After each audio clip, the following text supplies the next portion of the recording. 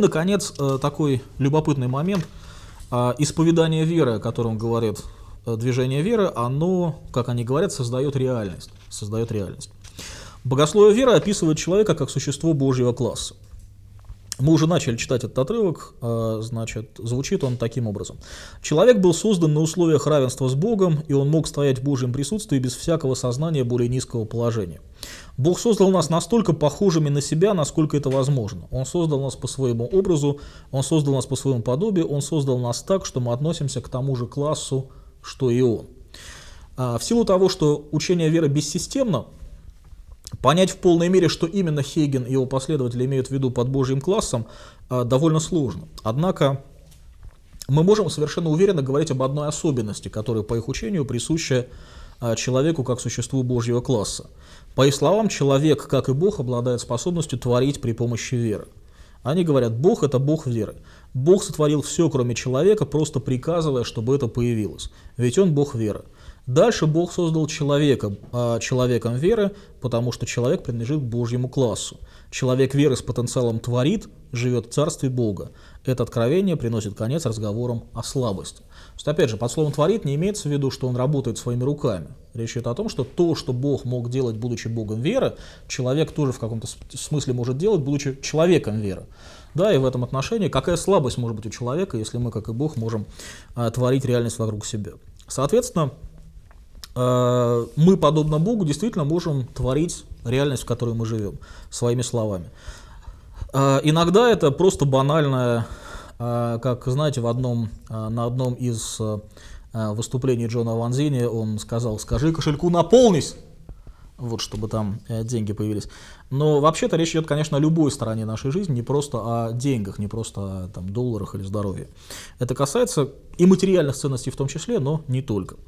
А, Хейген пишет, «Исповедание веры создает реальность, осуществление следует за исповеданием, исповедание предшествует обладанию. Духовное реализуется в естественной сфере посредством веры. Вера ухватывает его и творит его реальность в нашей жизни». Кеннет Копланд по своему обыкновению приносит в, этот уч... в это учение оттенок э, такой слегка оккультный, я бы сказал. И более того, он совершенно не смущается тем, что между его э, взглядами, которые он проповедует, и учением э, движения новой эры есть вообще очень серьезные параллели. Э, вот, например, у него есть такая любопытная, такое любопытное, любопытное рассуждение. Он говорит, ты начал размышлять об этих библейских текстах и размышлял до тех пор, пока ты не создал внутренний образ себя исцеленного. По мере того, как этот образ становится четче и яснее, ты начал ожидать или надеяться, что этот образ станет реальностью. В конце концов, вера поднялась, сделала этот образ материальным и превратила его во внешнюю реальность. Этот духовный процесс всегда действует одинаково. Надежда создает образ в соответствии со словом, а потом вера поднимается и материализует этот образ, делая его реальностью в природном или физическом мире. Вопрос, который у меня возникает, естественно, где Богу место в этом процессе, да, то есть все происходит совершенно естественно, да, мы представили себе, как это должно быть, вера поднялась, превратила все это дело в то, что мы хотим, и все замечательно. В оккультных практиках называется визуализация, да, когда мы с вами представляем себе то, что мы хотим, и потом силой своего убеждения или заклинания или что-то еще превращаем это э, в некую э, вещь материального мира. Копланд хорошо понимает, как это звучит и насколько это близко к учению движения новой эры и оккультизма. Он говорит об этом следующем. Слова создают образы, а образы в твоем разуме создают слова, а потом слова выходят из твоих уст. И когда эта духовная сила выйдет, она материализует образ, который есть внутри тебя. О, так это же визуализация, о, так это же новая эра. Нет, движение эры пытается это сделать, и поэтому они сумели получить из этого какие-то результаты. Что это, брат? Духовный закон. То есть, иными словами, движение новой эры, по сути, занимается тем же, чем и движение веры, только они только пытаются. А у движения веры есть вполне так сказать, все основания для того, чтобы это довести до конца. Хейген говорит то же самое, только метафизические подробности все опускают. Он, в отличие от Копланда, не интересуется такими деталями. Он говорит, по мере того, как ты изучаешь Слово Божие и узнаешь о том, что говорит Его Слово, о том, кто ты, что ты и что у тебя есть во Христе Иисусе, э, даже если поначалу это покажется нереальным, начни исповедовать. Да, это мое, согласно Слову Божьему. Затем ты увидишь, что исповедание веры создает реальность. Вот э, то, что меня смущает в этой цитате, не действие Духа Святого создает реальность, да, не плоды Духа, не Там работа Бога внутри тебя, а исповедание веры создает реальность. То есть человек сам фактически себя таким образом создает. Да. Кто был? А, честно говоря, понятия не имею. Ну, вот этот вопрос, я думаю, что вы тоже рассмотрите, пожалуйста, потому что здесь чистое истолкование идет э, психологии, чистое толкование тренинга, психологический позитивный тренинг. А, я э, сильно сомневаюсь, что он был психологом. Э, дело в том, что идея позитивного исповедания, она ведь принадлежит не только движению веры. А среди э, позитивного исповедания это целое движение, которое э, существует в самых разных формах. То есть, по сути дела, тот же, та же фильм «Секрет», э, который, будучи вообще не христианским течением, он тоже построен на этом. А позитивистская психология, тот же Карл, Карл Роджерс, да, а, вот, это по сути дела та же а, самая идея, которая трансформируется в чисто светском, бесхристианской мире. Просто то, что делает Хейген, он берет саму вот эту идею позитивного исповедания, ставит на фундамент каких-то библейских стихов, вырванных с контекста, и предлагает людям как некое откровение от Бога.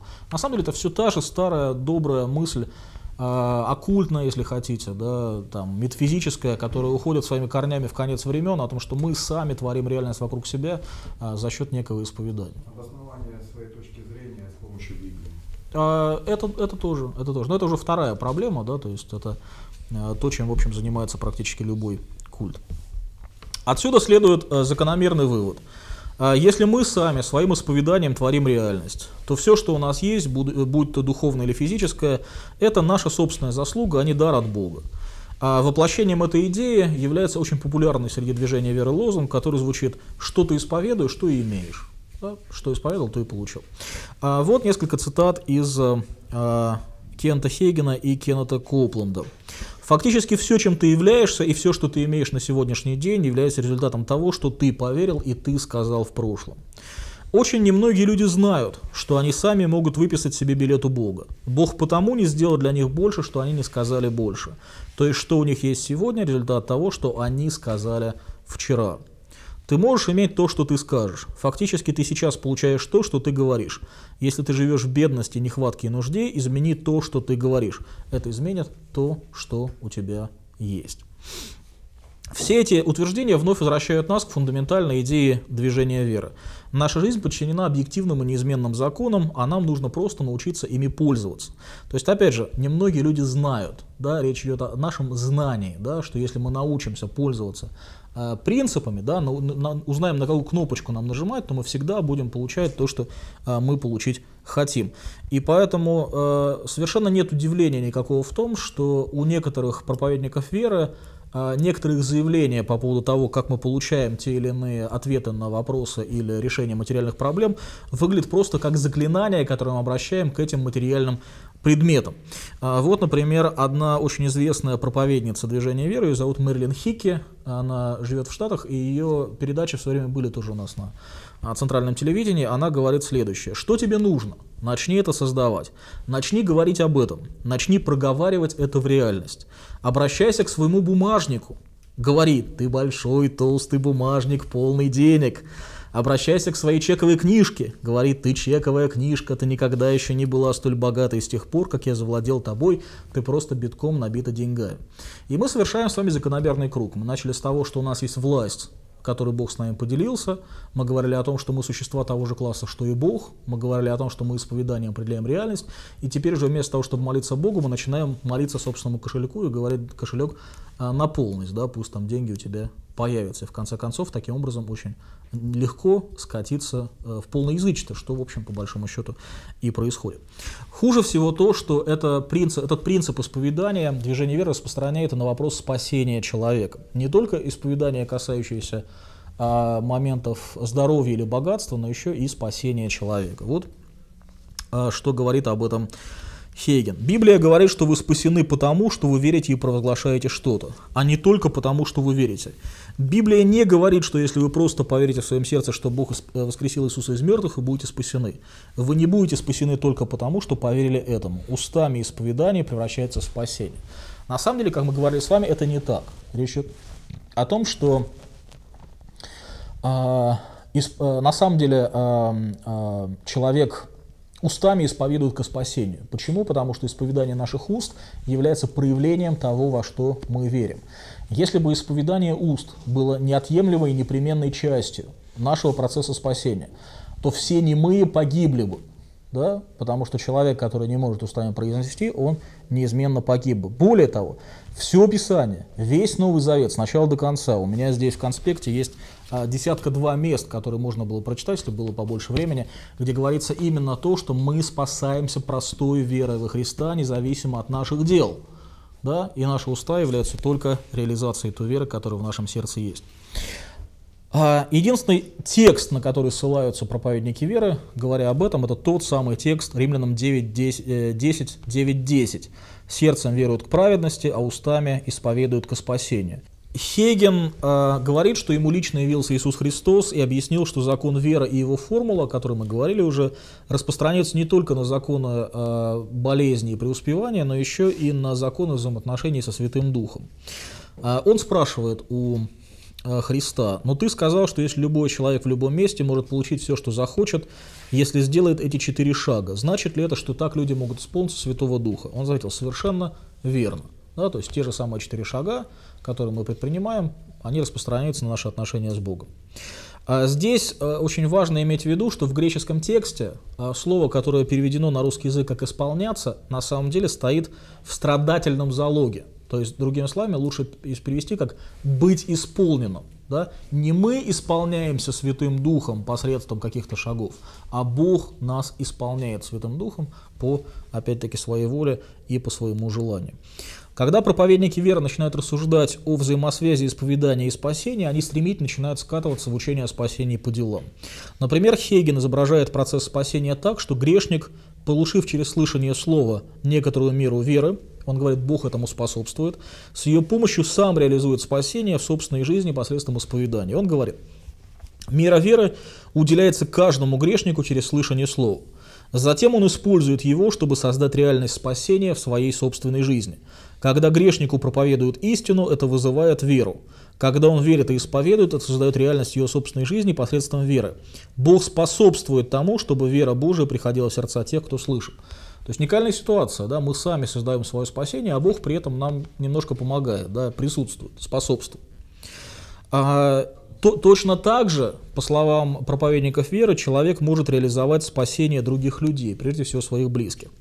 А, Киан Хейген в книжке «Власть верующего» рассказывает историю своего брата а, и говорит о том, что он много лет молился за спасение – этого человека, но тот только глубже погрязал во грехе. И получив от Бога откровение от власти верующего, Хейген просто перестал молиться и провозгласил спасение брата.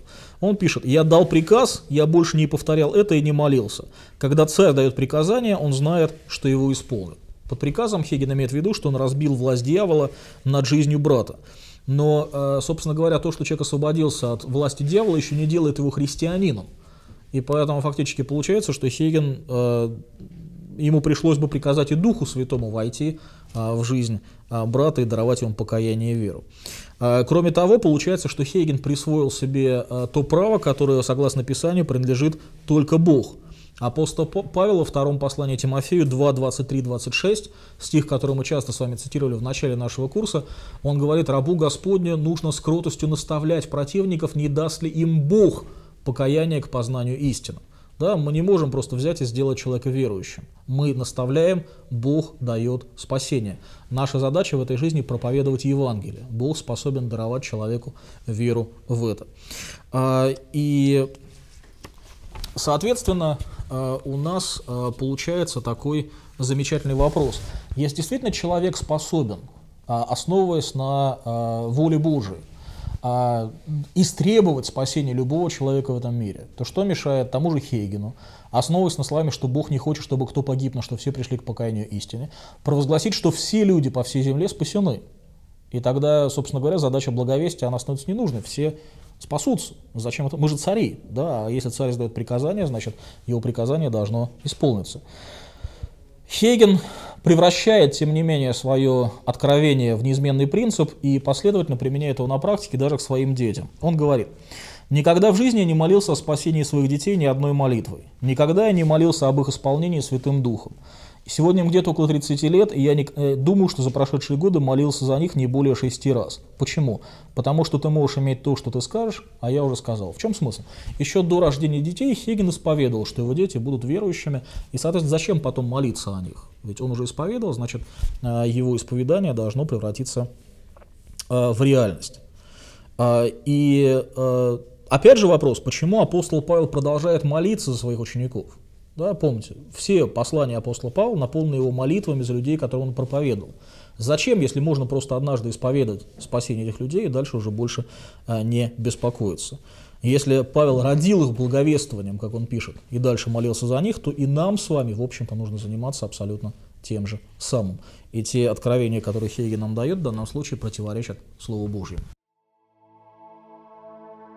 Приглашаем вас принять участие в глобальном проекте – по распространению Евангелия и расширению библейского образования.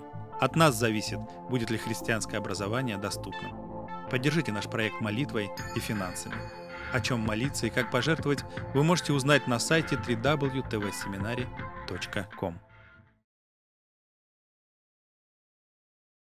А, следующий вопрос, который мы рассмотрим, называется «Назови и потребуй». Это такое просторечное название одного из самых уродливых аспектов движения веры. Э, речь идет о том, что э, когда у нас есть с вами такое влияние на Бога посредством позитивного исповедания, в конце концов все наши молитвы вообще отступают на второй план. Мы начинаем э, у Бога не просто просить, а начинаем требовать. Причем в конце концов эта идея требования становится частью богословия, движения веры. Вот посмотрим, как это происходит. В силу того, что мы с вами как цари имеем некие права и привилегии, как говорит движение веры, Хейген пишет – я пришел к выводу, что самая эффективная молитва – это когда ты настаиваешь на своих правах. Я так и молюсь, я настаиваю на своих правах. Дорогой друг, только тогда, когда ты займешь свое место и начнешь пользоваться твоими правами и привилегиями, только тогда Бог начнет э, отвечать тебе. Беда, однако, в том, что когда мы начинаем настаивать на своих правах и привилегиях, мы фактически превращаем Бога в исполнителя нашей воли, в исполнителя наших желаний. То есть возникает такая ситуация, что Бог превращается в автомат по продаже газированной воды, по сути. Да? Бросаем пятак, получаем воду э, с газом и сиропом. Э, бросаем 3 копейки, получаем э, воду с газом без сиропа. Бросаем копейку, получаем воду без газа и без сиропа. Не бросаем ничего, получаем один газ. Э, и без воды, и без всего остального.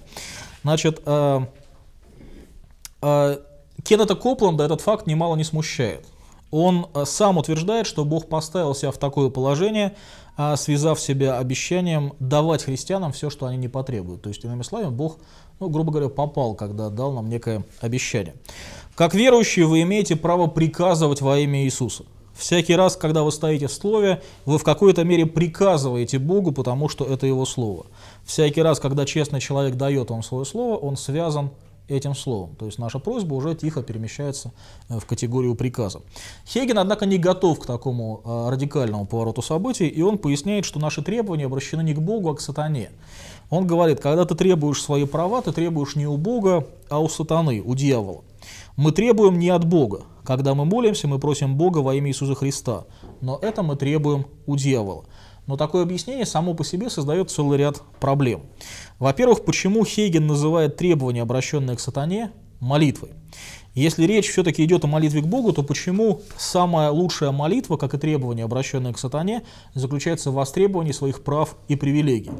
И в конце концов, почему на требования, которые мы обращаем к сатане, отвечает нам Бог или Иисус Христос? Неужели он теперь служит на побегушках сатаны, выполняя все наши требования и желания? Основанием для учения Кента Хейгена о требованиях является очень своеобразный подход к толкованию э, греческого глагола э, «просить» э, или, как он говорит, «требовать». Это, это глагол звучит по-гречески «aiteo».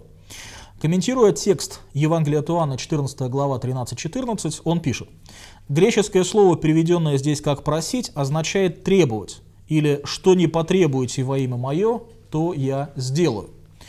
Хейген создает у читателя неверное представление о значении греческого глагола. Да, действительно, в некоторых случаях его можно перевести как «требовать», но его основное значение – «просить» или «умолять».